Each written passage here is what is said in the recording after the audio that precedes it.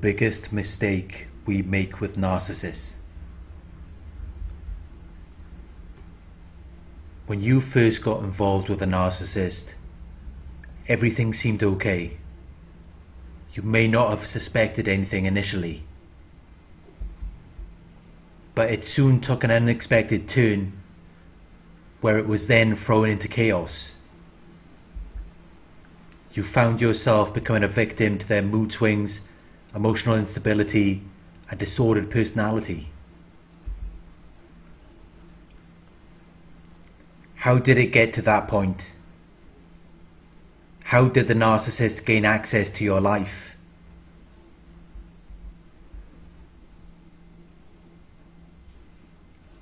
You stuck around long enough to the point where you were groomed. You were prepared and trained for a purpose until you finally accepted and adapted to their behavior and expectations of you. You gave in to their demands and you accepted that this is your new world. This is your new reality.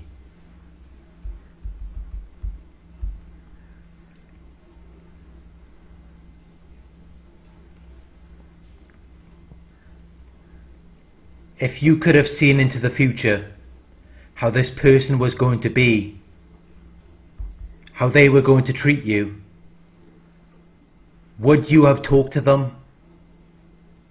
Would you have given them a chance? Would you have stuck around? I'm sure you wouldn't have. If you have realized and accepted the consequences of doing that you wouldn't willingly put yourself through that. You wouldn't want to experience all of those problems. But you didn't know any of this when you first met them. You didn't expect them to turn out this way.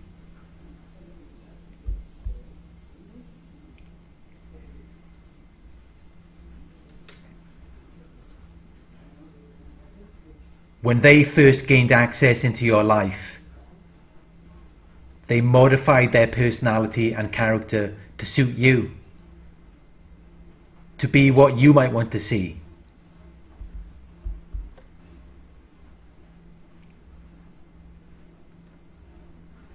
They made themselves appear to be attractive or interesting. They acted as though they were hurt or in danger when that's not who they really are.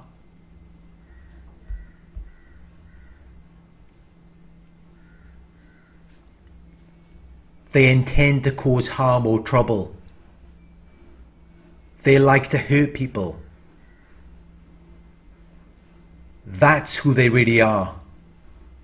That's what they're really about.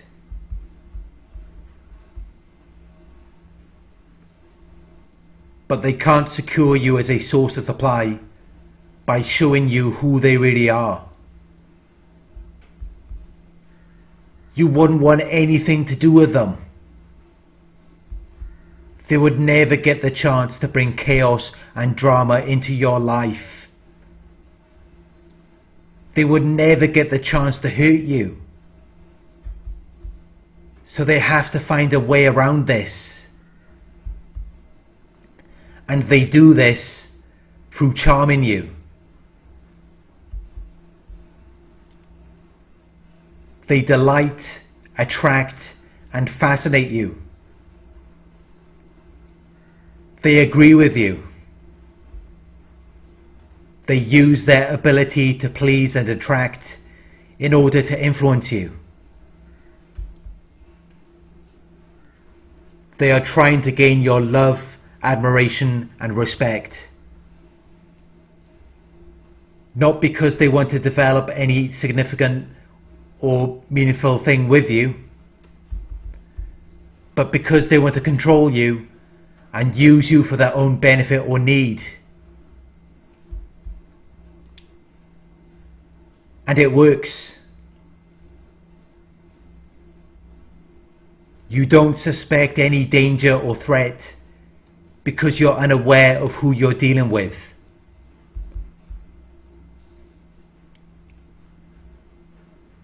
You're not aware or concerned of any potential danger because it's comforting. It improves your mood.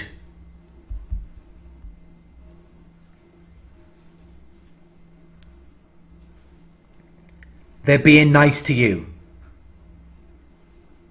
So naturally, this will come across as something pleasant.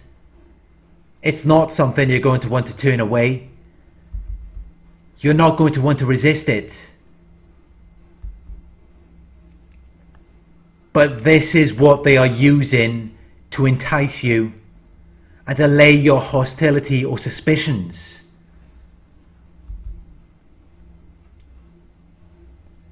It makes you focus on the emotional aspect of the situation rather than the intellectual component, which then gives them the ability to, to exploit you.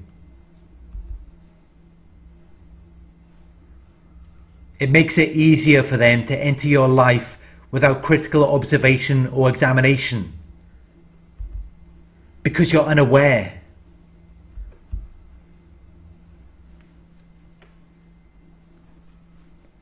The more charming or bubbly they may seem, the more fake they are.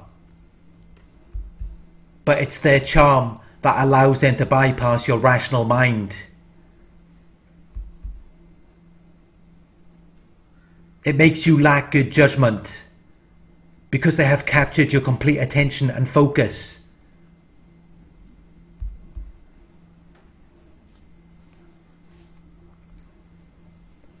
The biggest mistake we make with narcissists is when we fall for their charm.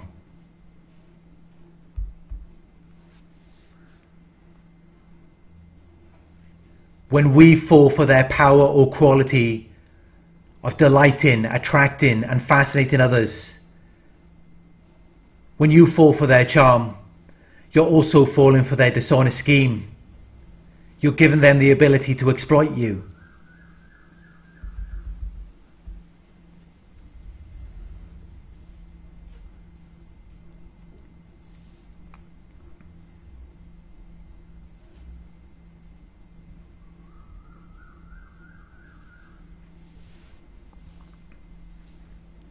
There's nothing wrong with people being kind or polite. But charm is used to take charge.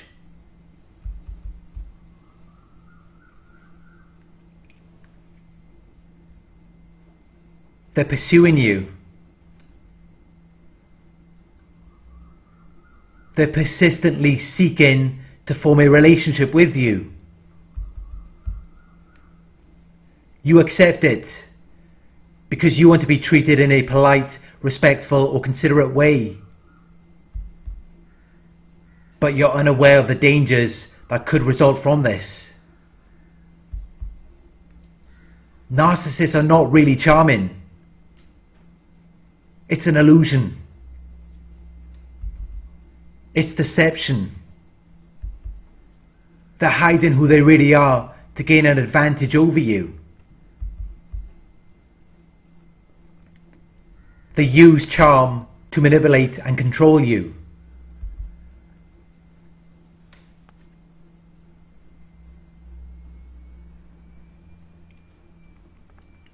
They know that by saying or doing certain things, they are going to get a specific reaction out of you.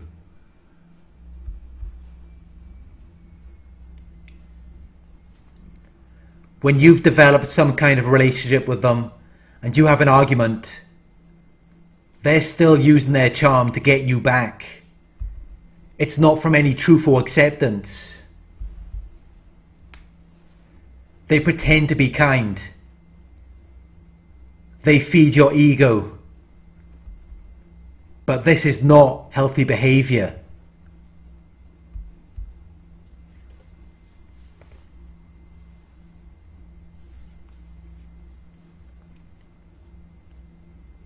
They give you excessive and insincere praise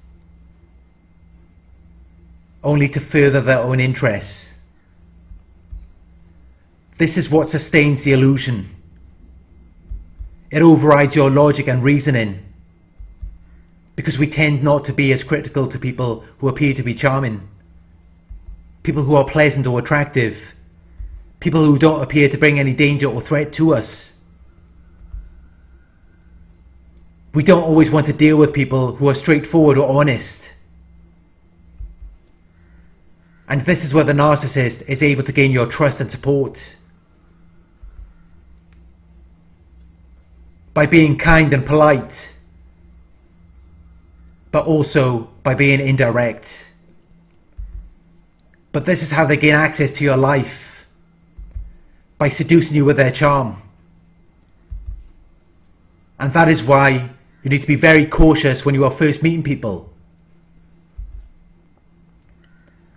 Anyone who seems too charming or too bubbly.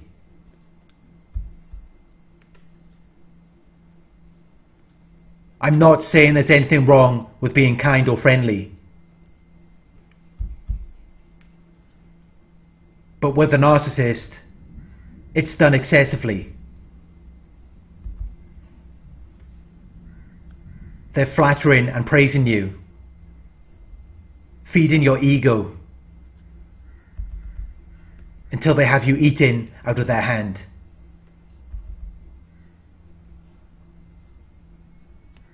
Which is why you have to take yourself off the pedestal.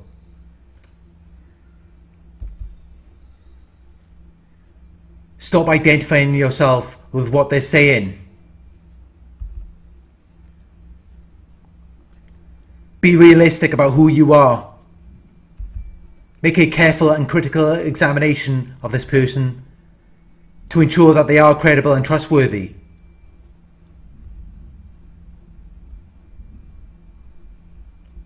They are using their charm to manipulate you. Anyone who is charming does not have your best interest in mind. They are seeking to exploit you. They are seeking to make full use of and derive benefit from you in a way that might be considered unfair or underhand. And they are seeking to abuse you.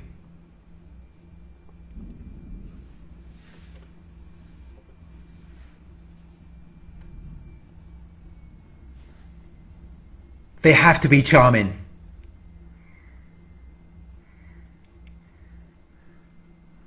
Because there's no other way for them to do it.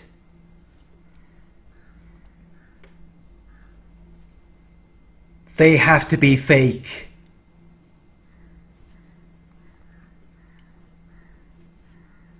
And that is why your best defense against them is to be real. Be real about yourself. And be real about them. Continue to live and exist in reality. Don't let them drag you along for a ride in their fake world full of fake, superficial nonsense.